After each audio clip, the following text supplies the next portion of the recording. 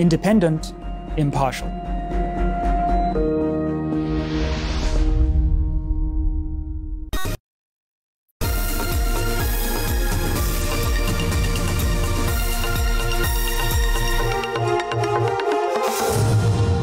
Goeienaand en baie welkom regstreeks uit die SAIK ateljee in Auckland Park, Johannesburg. Ons bied jou in die volgende uur of wat die belangrikste nuus van die dag. In die volgende halfuur onder meer die volgende. Suid-Afrika het Amerikaanse wetmakers warm onder die kraag oor sy verhouding met Rusland. Vragmotorbestuurders by Komati Poort onderweg na Mosambiek vrees vir hulle lewens tydens die lang gewag by die grenspos. En die bulle soek rigting tydens Saterdag se wedstryd teen die Cheetahs.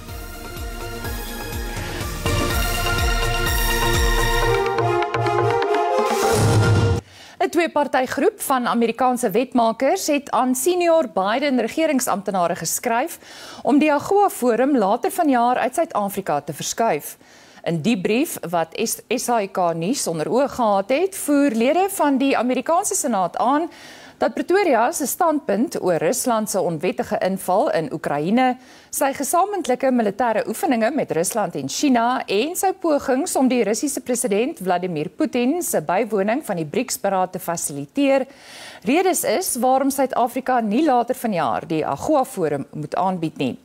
AGOA verwys na die Amerikaanse wet op groei en geleenthede in Afrika. Dit maak dit jare lank al vir Afrika lande moontlik om sekere handelsgoedere sonder belastingheffings na die FSA uit te voer.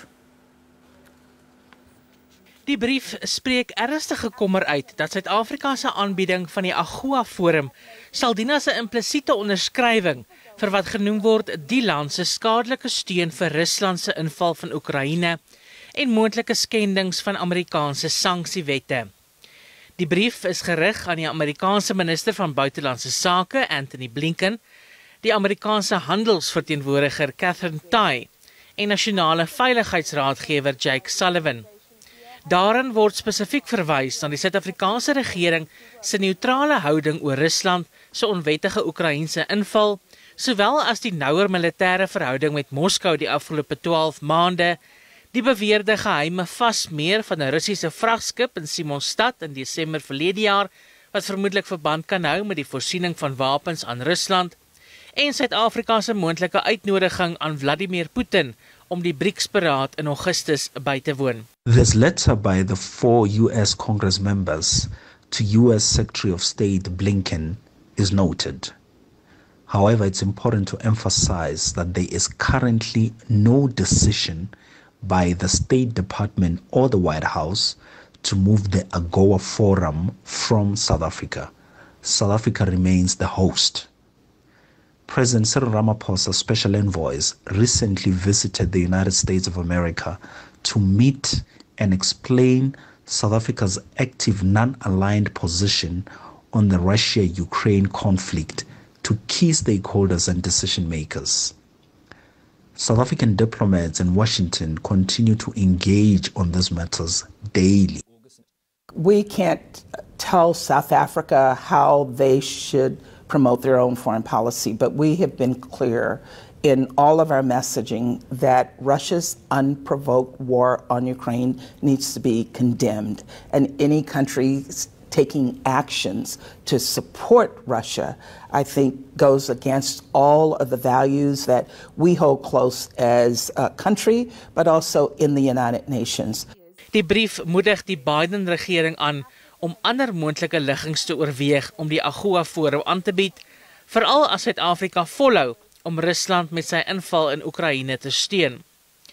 Die Suid-Afrikaanse presidentskap het die week gewaarsku dat gesprekke oor moontlike sanksies teen die land kommer wek en Suid-Afrika se soewereiniteit en ekonomiese bestendigheid ondermyn. President Cyril Ramaphosa het by die Wêreldarbeidsberaad in Genève in Switserland 'n voorstel gesteun vir die skepping van 'n globale koalisie vir maatskaplike geregtigheid. Die beraad word deur die VN se internasionale arbeidsorganisasie aangebied. Ramaphosa het as mede-voorsitter van die IAO se internasionale kommissie oor die toekoms van arbeid die kommissie se sleutelaanbevelings aangebied.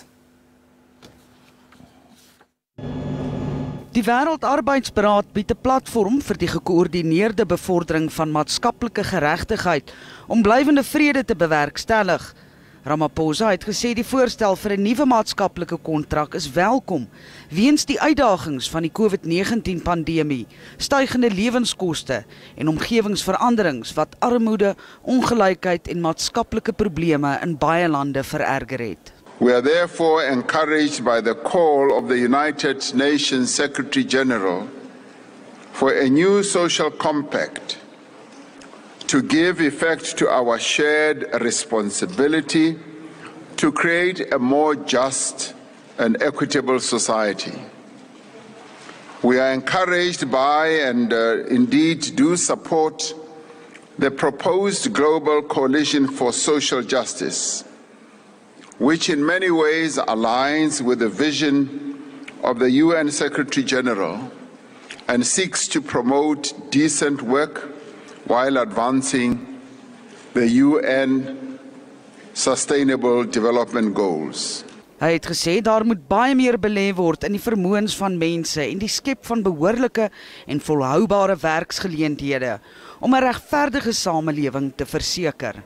We firmly believe that social justice is a fundamental pillar of sustainable development. That means we must remove the structural barriers that hamper equal access to opportunities for all. We must prioritize the removal of discrimination based on gender, age, race, migration status, and other grounds. Hy het 'n beroep gedoen op die lande wat aan die beraad deelneem om die internasionale arbeidsorganisasie se mandaat te beskerm en daardeur sosiale geregtigheid te bevorder en blywende vrede te bewerkstellig. Die minister van korrektiewe dienste, Ronald Lamola, ontken dat die regering die proses om die Guptas uit die Verenigde Arabiese Emirate aan Suid-Afrika uit te lewer in die wiele gery het. Hy het voor die parlement verskyn om vrae oor die kwessie te beantwoord. Volgens Lamola is daar reeds samesprekings om die proses weer aan die gang te kry. 'n Hof in die VAE het die uitleweringsversoek reeds in Februarie van die hand gewys, maar Lamola is eers 'n maand later ingelig. The legal framework in the UAE is unique amalgamation of Islamic Sharia principles and civil laws from Egypt and France. Only family members can access the court system in the UAE. Is daydreaming by Honorable Horn that I was aware. No South African diplomat anyone was aware of the court case when it said, because unlike our courts, it's not an open court system. It happened, and we were informed on the date that we informed South Africans, and we wasted no time. We informed South Africans on real time when we received the note verbal. Hy hou vol dat die VAE Suid-Afrika moes raadpleeg voordat die versoek uit die hof gegooi is en dat die land verplig was om die Guptas te vervolg vir geldwasery. They have been let loose and released without them being charged without and without respecting the content of this bilateral agreement article 5.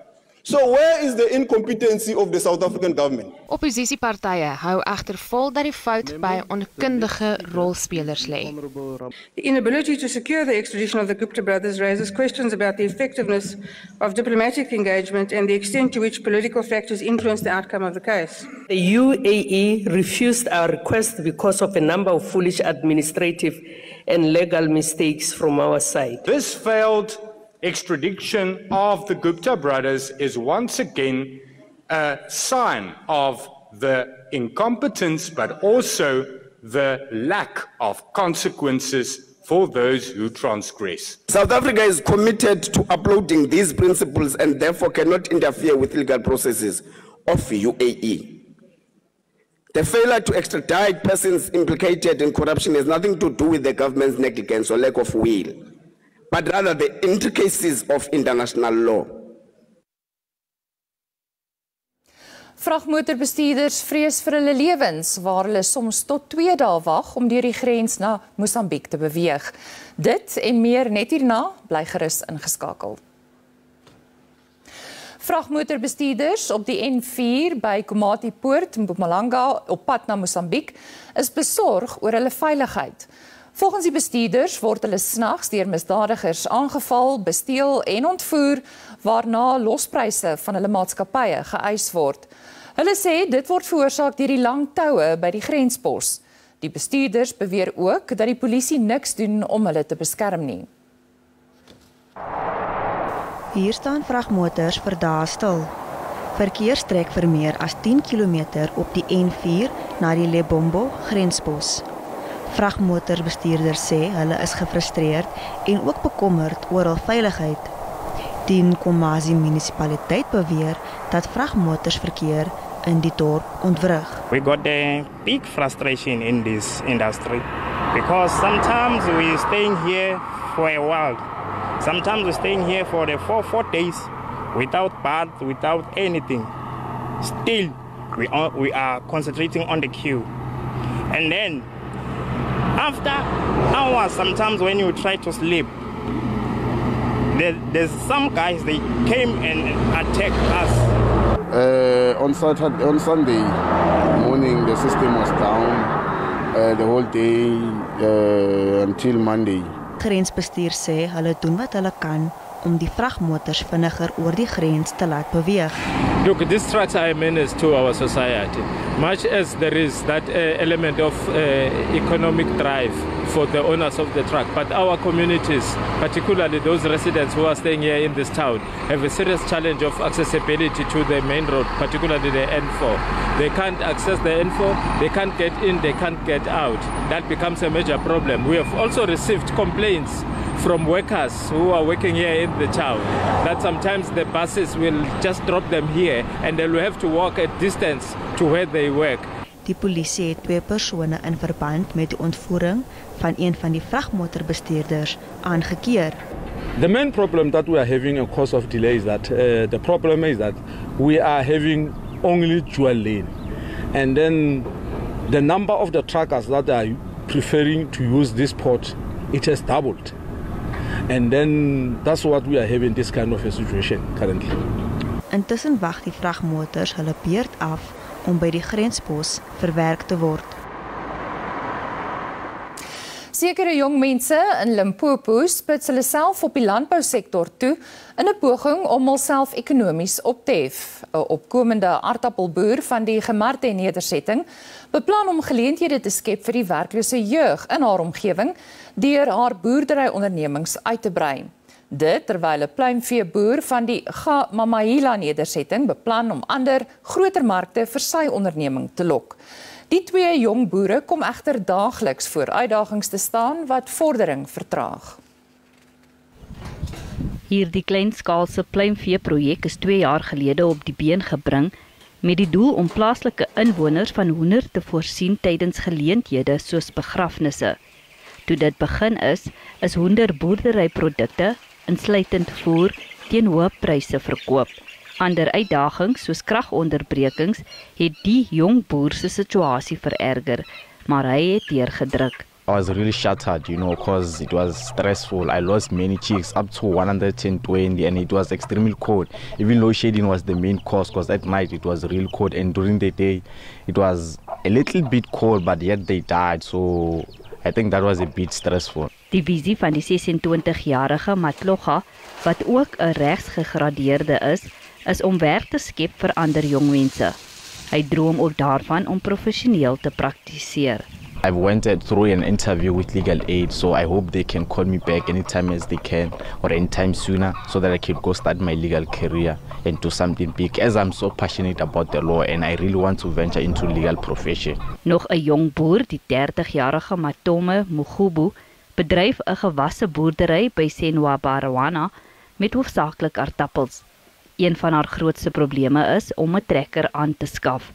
Vanaf verlede jaar het die kwaliteit van die aardappels egter gedaal weens voortdurende kragonderbrekings.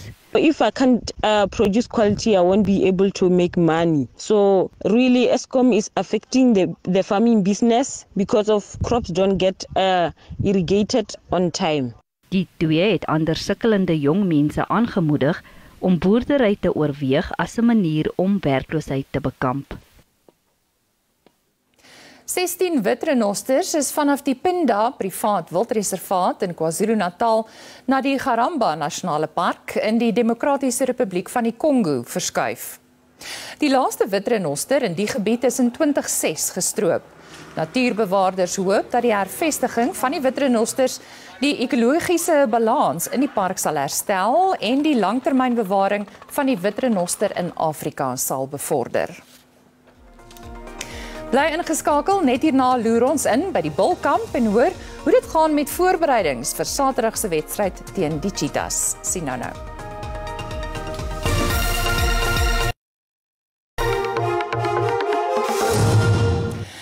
Die Bulle hoop om hulle stempel af te druk in hulle kragmeting teen die Cheetahs Saterdag in Bloemfontein. Die Unie het vanjaar plaaslik gesukkel en benodig dringend 'n omkeerstrategie. 'n Oorwinning oor die Cheetahs kan dalk net die katalisator wees om die span noord van die Jukskei rivier te laat herleef. Die Bulle het by die agterdeur ingesleep tot in die halfeindronde van die Curriebeeker op soortgelyke wyse waarop hy die Verenigde Rugby Kampioenskapseisoen oorleef het. Hoewel hy plaaslike rugby tydens die COVID-19 inperking oorheers het, seg die Bulle deesdae aan die agterspeen. Maar tog bevind hy homself in die halfeindronde. Ek dink dink ons het in dele in die in die seisoen bietjie fokus verloor. Maar dit is 'n ding waarna ons werk vir die naweek net seker te maak dat ons aangesluit bly. Ek dink ons het hier en daar 'n sagte oomblik soos hulle dit noem. Dat ons net bietjie konsentrasie verloor, maar um, net om seker te maak ons is aangesluit vir al 80 minute gaan verseker 'n groot verskil maak. Die Bulle het albei sy groepwedstryde teen die Cheetahs verloor. En met 'n oorwinning vir die Cheetahs wat 'n tuis-eindstryd sal verseker, is die Bulle beslis nie die naweek die gunstelinge nie die die die plan vir die naweek is ons gaan dit nie individueel maak nie. Ons gaan gaan ons pak teen teen hulle pak sit as ek dit so kan stel en ehm um, ja, ons sal sal kyk wie se wie se stelsel is die beste voorberei en ehm um, gaan verseker alles wat ons het daarin gooi. Uh so ja, dan sal ons sal ons sien. Die Bulle weet hoe belangrik Saterdag se halfeindstryd is om die konsessie in sy geheel weer op die regte pad te kry. Yes, yes, Embers, but what a step. Die Telkom Netball Liga kan vir 'n kinkel in die kabel in die Proteas se Wêreldbeker voorbereidingsplanne sorg. Die nasionale span se hoofafrigter, Norma Plammer, sê terwyl lande soos Engeland en Australië hulle ligas reeds afgehandel het en vir die toernooi voorberei, is die TNL in Suid-Afrika steeds volstoom aan die gang. Plammer land op 14 Julie vanaf haar tuisland Australië in Suid-Afrika, slegs 2 weke voor die openingswedstryd van die Wêreldbeker toernooi in Kaapstad. Terwyl die Wêreldbeker trofee sy landwyse toer voortsit, is daar kommer oor die Protea vroue se gereedheid.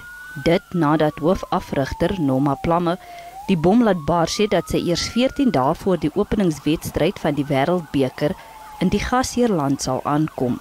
There's no use us coming in until July because the girls are all committed to their clubs at the moment. But if if that Telcom series was actually um, played earlier in the year, in line with the rest of all the big international uh, countries, then that would would work even better um, from a selection process. Plamme sê deelname aan die Telkom Netbal Liga gee haar spelers genoegsame speeltyd, maar 'n mens sou dink dat die risiko van beserings voor die toernooi kommerwekkend sou wees, maar nie volgens Plamme nie.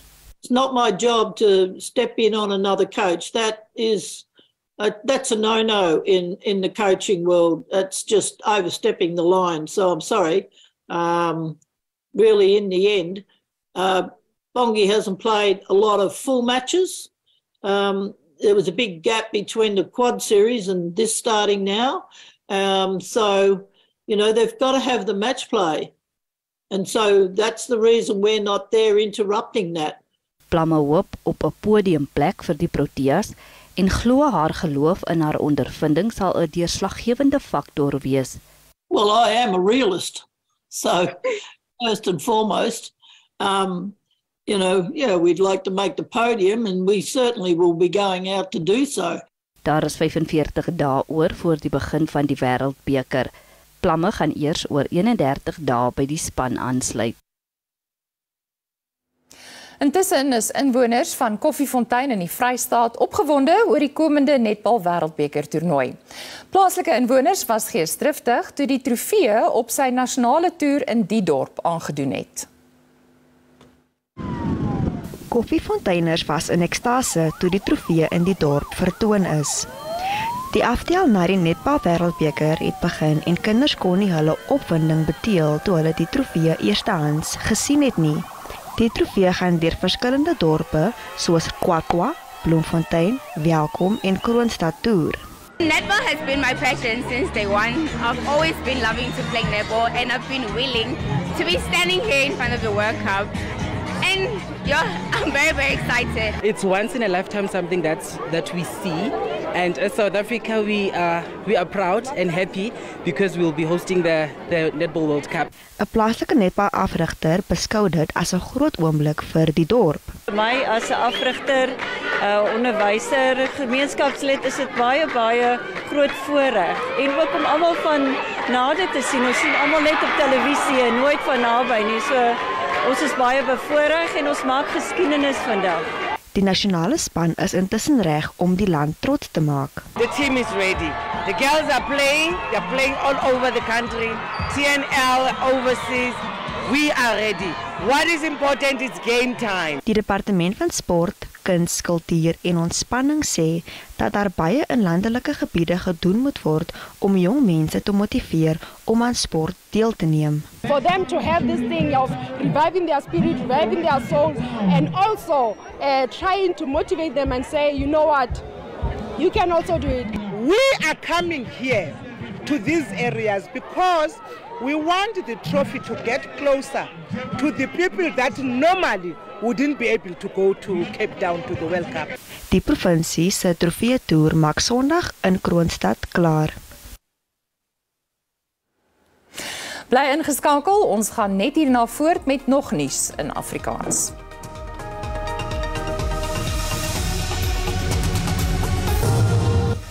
Hoofnuus in die volgende halfuur: Misdaad neem steeds toe in Gauteng. Inwoners in laagliggende gebiede in die Kaapse Skiereiland loop deur onder gure weer. En 'n Japaneese stweer verruil Tokio vir Senegal om inheemse stweekuns te bemeester.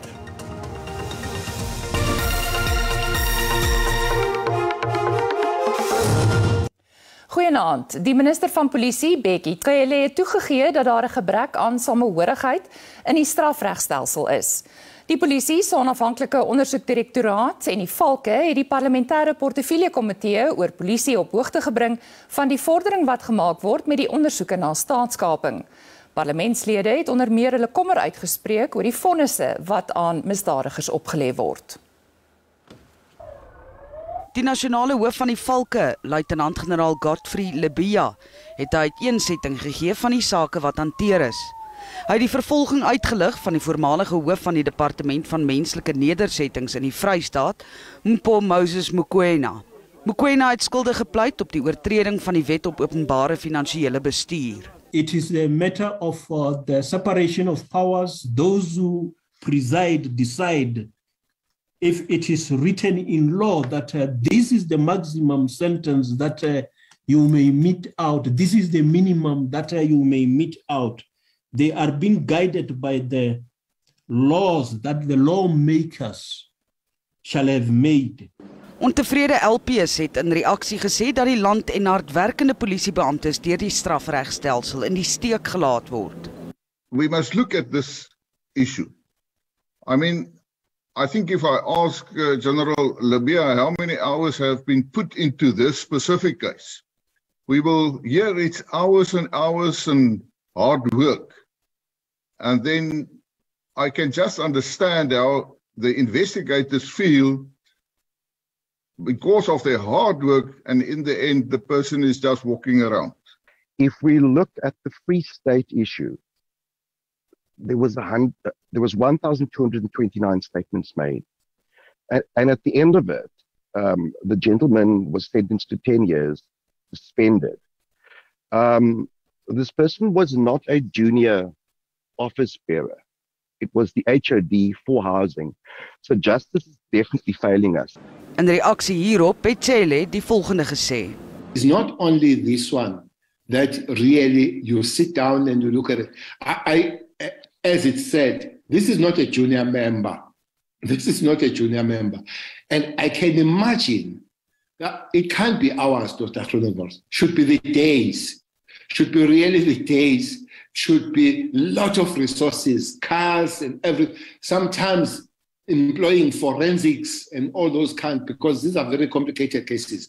Forensics and they're paying extra money.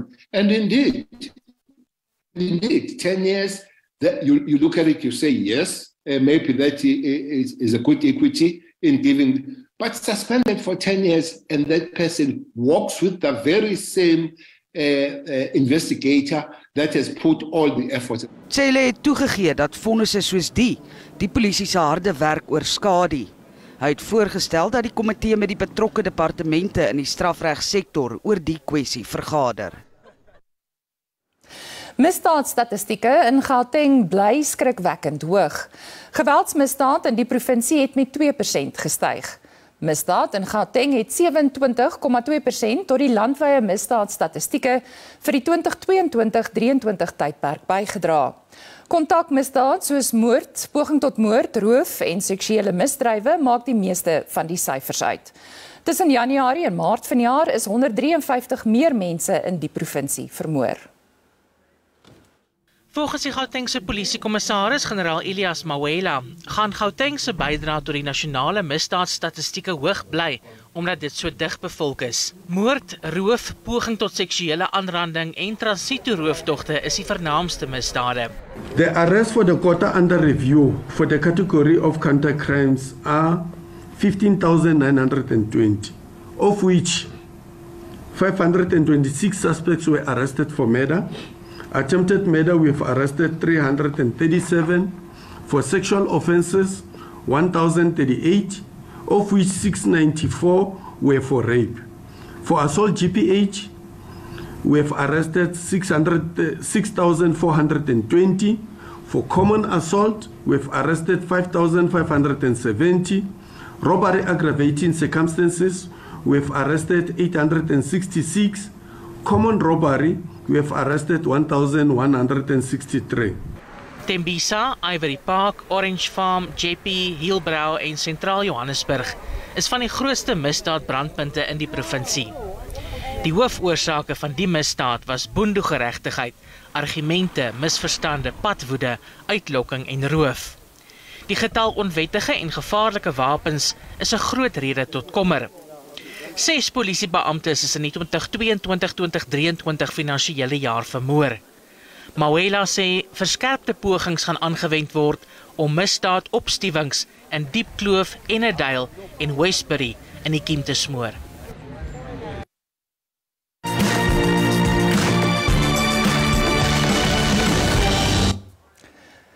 Die voormalige Amerikaanse president Donald Trump dreig om 'n spesiale aanklaer aan te stel om president Joe Biden te ondersoek. Trump het in hof in Miami verskyn en staar 37 aanklagte in die gesig wat verband hou met die besit van geheime staatsdokumente. Hy het onskuldig op alle aanklagte gepleit. Trump het na sy verskyning aan ondersteuners in Bedminster in New Jersey gesê hy het die volste reg gehad om die dokumente in sy besit te hê. Hy het na Biden as die mees korrupte president in Amerika se geskiedenis verwys en bygevoeg dat die Biden-familie 'n familie van misdaad is. In Milaan in Italië het skares buite die villa van die voormalige Italiaanse premier Silvio Berlusconi en die Duomo kathedraal saamgedrom waar sy staatsbegrafnis gehou is. 'n Lijkswa met Berlusconi se kus het van sy Villa San Martino naby Milaan vertrek vir die begrafnis. Die kus het later daarheen teruggekeer om hom te veras voordat sy oorskot na die familie mausoleum op die gronde van sy villa geneem gaan word. Berlusconi is maandag in die ouderdom van 86 oorlede. In Gifu in die weste van Japan is 'n 18-jarige soldaat in hegtenis geneem nadat hy twee instrukteurs doodgeskiet het. 'n Derde persoon is beseer. Volgens die Japanse weermag het die verdagte tydens vuurwapenopleiding vir nuwe soldate skote op die drie beamptes afgevuur. Dis die eerste noodlottige skietvoorval op hulle skietbane sedert 1984. In Griekeland het minstens 59 migrante verdrink in die dodelikste bootongeluk van jaar. Tientalle word steeds vermis nadat hulle boot langs die Griekse kus omgeslaan en gesink het. Sowat 100 mense is gered en na die dorpie Kalamata geneem vir mediese sorg. Die boot onderweg na Italië is laat gisteraand in internasionale waters opgemerk. Diegene aan boord het bystand geweier waarna die boot ure later omgeslaan het. Dit het glo vertrek vanaf die Libiese dorp Tobruk met meestal mans in hulle 20's aan boord. Net hierna giere weer saai amok in Kaapstad. Bly ingeskakel vir die en ander nuus.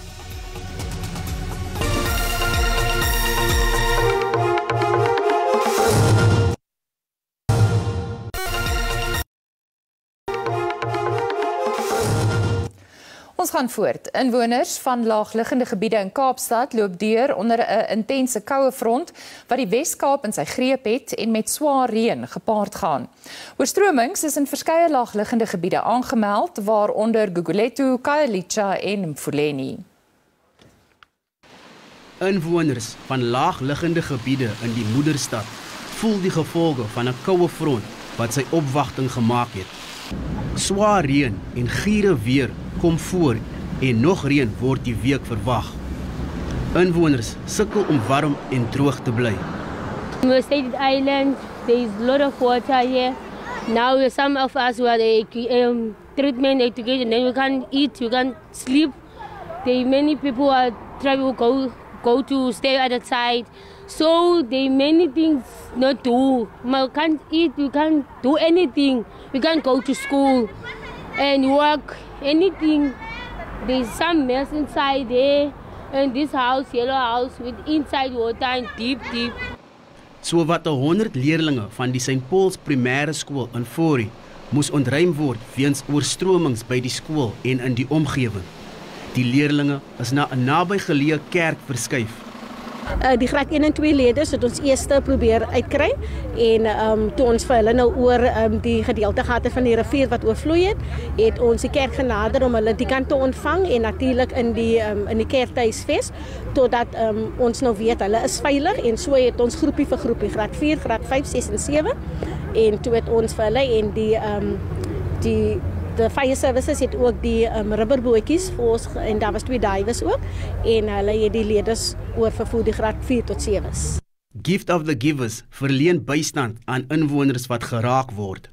We have been also been contacted by the Saldanha Bay Disaster Risk Management teams, Theewaterskloof Municipality, the Brede Rivier Municipality, asking for our urgent intervention as many families had to be evacuated and been placed in walls. Gift of the Givers teams are distributing blankets, hot meals, warm clothing, as well as raincoats for the affected victims. Die stad se rampbestuursentrum gaan dwars deur die week op 'n hoë gereedheidsgrondslag bly, aangesien nog swaar reën en giere weer verwag word. The city has provided the residents with milling and sand. The roads and infrastructure management services, as well as stormwater teams, are unblocking drains. The Recreation and Parks Department is removing uprooted trees on public land, roadways across the city. In Somerset Wes het die Lourensrivier sy walle oorstroom wat die Eskom substasie in die dorp raak. Groot dele van die Oeverstrand munisipaliteit is ook sonder krag as gevolg van elektriese pale wat meegegee het. Koben August, SAK nuus, Kaapstad. Die ANC sê hy moet nog ruimte gegee word om die dood van die ANC LP Tina Juma Petersen te verwerk voor hy kan reageer op aantuigings van omkopery teen 3 van sy LPs. Die geskorste openbare beskermer, Bosisiwe Mqobane, het gister klankopnames vrygestel om volgens haar te staaf dat Juma Petersen en twee ander LPs haar probeer omkoop het. Sy beweer Juma Petersen het omkoopgeld van haar man gevra om toe te sien dat die artikel 194 proses na haar geskiktheid vir die amp verdwyn. Juma Petersen is intussen vandag by 'n ANC gedenkdiens in Kimberley onthou. Vriende, kamerade en familielede het van die geliefde politikus afskeid geneem. Sy is onthou as 'n opkomende ster wie se lewe kort geknip is. It teaches us from the Northern Cape to defy the tyranny of numbers that we always get subjected to every time we go to conferences as a small province. And the logic of this tyranny of numbers is you are from the small province, you contest for substantive positions in the ANC. Comrade Tina defied that logic. We could share anything with her, and we will never forget the advice and lessons she taught us. Her wisdom and courage will forever guide the decisions we must now make for the rest of our lives. Tina just had no rhythm. Oh my God. I woman, she just never had any rhythm. I'm not going to say I do have, or any of us there, or dancers of some sort, but Tina just had no rhythm. And she loved it. She loved singing during the revolutionary songs. She would lead it. She would love starting the hymns.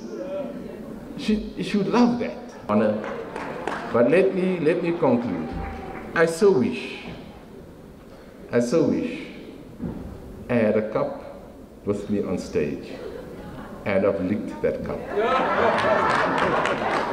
I will drink to you, Tina. We will sip on our tea in honor of you. Jumat Petersen gaan tydens 'n privaat seremonie veras word. Ulrich Hendriks, SAICanis, Kimberley, Noord-Kaap.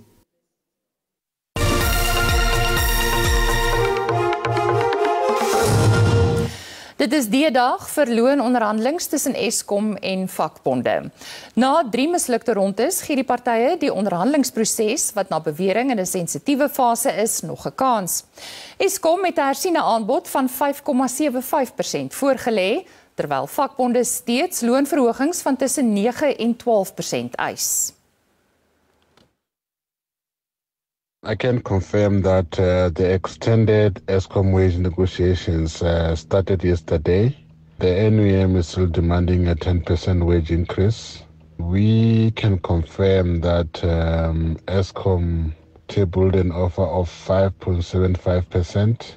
And we can't reveal much at the moment uh, as the wage negotiations are at a sensitive stage we are not allowed to reveal much on what is happening at the moment. The wage negotiations are at a sensitive stage. Remember, the extended wage negotiations are going to end today. Verbruikers is steeds onder druk te midde van die stygende lewenskoste. Data van Statistiek Suid-Afrika wys dat kleinhandelverkope met 1,6% op 'n jaargrondslag in April gedaal het. Dit is die 4de agtereenvolgende inkrimping van jaar. Die grootste bydraers is algemene handelaars, voedselhandelaars en gespesialiseerde drank- en tabakwinkels. Die positiewe bydraers was handelaars in klere en skoene, asook tekstiel en leergoedere. Handelaars gaan steeds gebuk onder volgehoue beerdkrag terwyl verbruikers sukkel om kop bo water te hou met die hoë lewenskoste en salarisse wat nie aangepas word nie. En nou 'n kort samevatting van die markaanwysers vandag. Die rand het teen die sluiting van die JSE om 5:00 vanmiddag sterker teenoor die vernaamste geldeenhede verhandel. Die JSE se indeks van alle aandele het hoër gesluit. Die goudprys was teen die sluiting van die JSE hoër, platinum laer en die prys van Brent olie hoër. En op die JSE termynmark het die pryse van landbougewasse vir lewering in Julie hoofsaaklik gedaal. Witmielies kos R3617 per ton, dit is R59 minder. Koring kos R6496 wat R30 per ton minder is. Die prys van sonneblom is R8482 of R11 minder en soja kos R7705 per ton, dit is R3 meer. Ons gaan net hierna voort met sportnuus, bly gerus ingeskakel.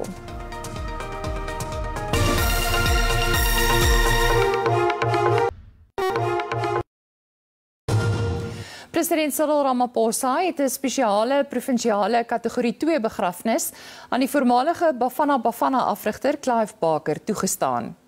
Die 78-jarige Baker is die naweek na 'n siekbed oorlede.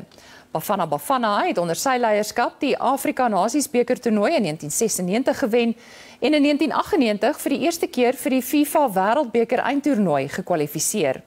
Die begrafnis vind môre by die Olive Konvensiesentrum in Durban plaas. Die Springbok kaptein Sia Kolisi is op die herstelpad en behoort gereed te wees om die Bokke later vanjaar in Frankryk by die Wêreldbeker rugby toernooi op die veld te lei. Afrigter Jacques Ninaber en SA Rugby se direkteur van rugby, Rassie Erasmus, het die media in Pretoria ingelig oor die Bokke se voorbereiding vir die begin van die internasionale seisoen. Die nasionale span neem vanaf Maandag tot die 29ste van die maand aan 'n oefenkamp deel. Erasmus het goeie nuus oor Kolisie gedeel. See, as we had a meeting this morning with the doc, um, so uh, yeah, if he, he can play one or two of those matches prior to the uh, to the World Cup, you know, that's a target at the states, and he's, as Jock says, he's hitting those things. In Londen het die gesamentlike prysgeld wat by Wimbledon aangebied word, gestyg tot 'n rekordbedrag van meer as 1 miljard rand vir vanjaar se toernooi, 'n verhoging van 11,2% teenoor 2022. Die wenners en naaswenners van die mans en vroue enkelspel se prysgeld is soortgelyk aan die van 2019 waar hulle onderskeidelik meer as 53 miljoen rand en meer as 27 miljoen rand ontvang het.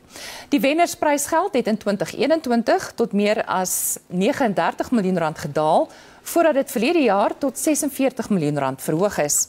Die kwalifiserende kompetisieprysfonds is ook met 14,5% verhoog. Enige speler wat 'n eerste ronde wedstryd verloor is egter verseker van byna 1,3 miljoen rand, 'n verhoging van 10% teenoor 2022. Die grasbaan Grand Slam duur van 3 tot 16 Julie. En ten slotte, 'n Japaneese stoeier het besluit om Tokio vir Senegal te verruil, nie om te gaan reis of vakansie te hou nie, maar om te leer. En tot dusver gaan dit letterlik van krag tot krag met die sportman van Japan.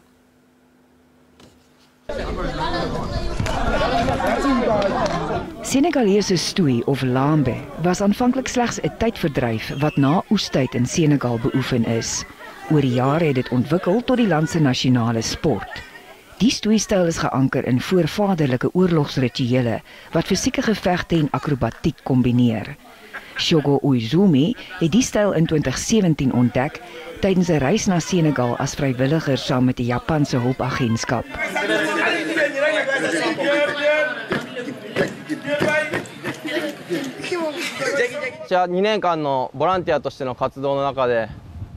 Ek het een van my beste vriende ontmoet gedurende my 2 jaar as vrywilliger. Sy naam is Sheikh Badian. Ons het saamgewerk om stoei te bevorder en ons het oor die toekoms gepraat. Hoe om kinders te leer stoei en hoe om stoei in Senegal gewild te maak en te bevorder. Toe dit tyd was om weer Japan toe te gaan, het ek hom beloof dat ek sou terugkeer na Senegal om stoei saam met hom te bevorder. Sedert sy aankoms in 2022 het hy in Badiane 'n akademie gestig. Hulle berei tans meer as 30 studente voor vir die 2026 Jeug Olimpiese spele. Hy het my gewys wat dit beteken om jouself te verbind, om jou land te verlaat sonder om goed betaal te word, wetende dat hy net genoeg sal hê om van te lewe en dit om ons sport te help ontwikkel. Daarom sal ek hom help wat dit my ook al kos. By 'n nasionale stoeikompetisie verlede maand het een van hulle studente die silwermedalje in haar gewigsklas gewen. Dis toe dat Uzomi en Bariani besef al hulle harde werk is nie verniet nie. En nou is die oog op 'n paar Olimpiese medaljes.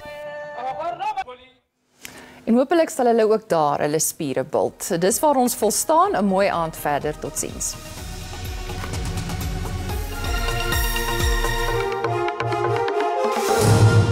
Goeienaand en baie welkom by die Weersentrum.